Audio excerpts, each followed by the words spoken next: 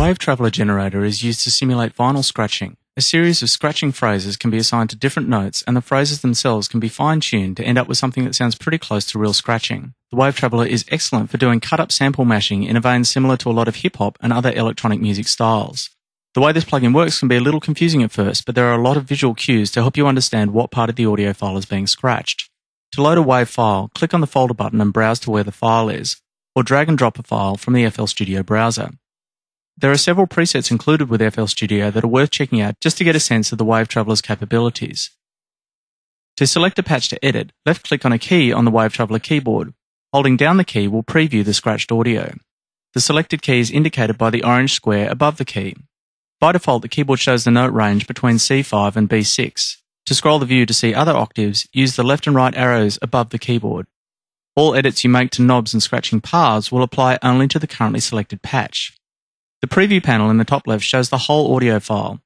The start and end points of the audio is set with the knobs on either side of the file. As you move them, you can see the two orange lines that indicate the start and end of the playback region. You'll also notice the waveform on the right will change to reflect just the selected playback region.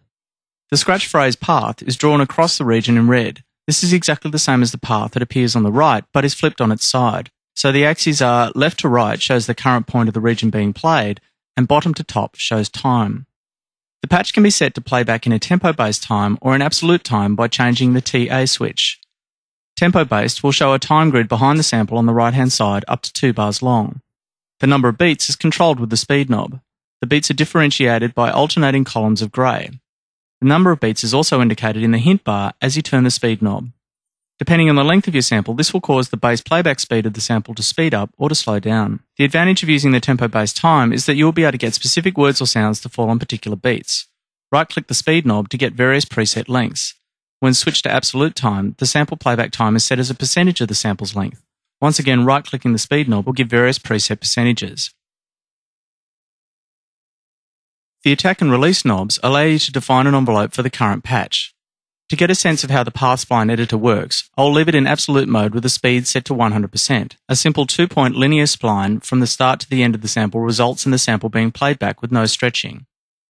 Right-clicking the speed knob and setting it to 50% will halve the speed of the sample. Setting it to 200% will double the speed. Clicking anywhere on the line will insert a new spline point. Click and drag the point to change the rate and direction of playback. As you drag, you'll see an orange line appear indicating at what position within the sample's length the point falls. The axes are left to right for time and bottom to top for sample point. So if you move the spline point in a vertical direction only, you'll be maintaining the time period but altering the amount of the sample being played back across that time. Moving it horizontally means that you are maintaining the amount of the sample being used but altering the speed that it plays back.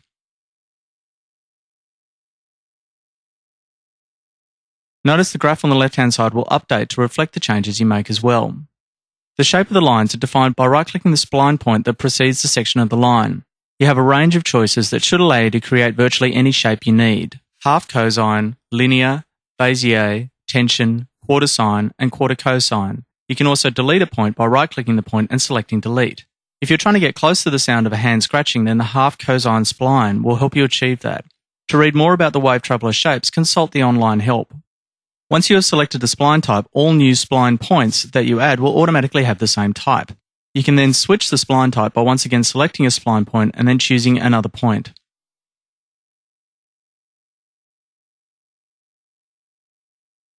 In addition to the splines, you can mute sections of the audio by using the mute region underneath the graph.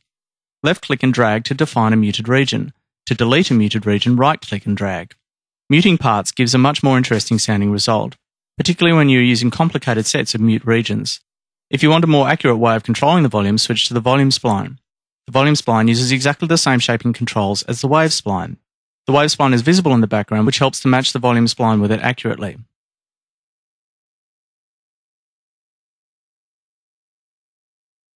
The Wave Traveler also includes the ability to copy and paste patches from one key to another. Right click the current patch key and choose Copy, then right click another key and choose Paste. The normalize 100% and 50% entries will adjust the wave path to use 100% or 50% of the sample duration. Also included under the right click menu is a list of preset wave splines. You can also save a wave shape for use in other songs. The included presets help to give a good overview of the capabilities of the Wave Traveler, as well as being a useful toolkit as a basis for creating excellent sounding scratch effects.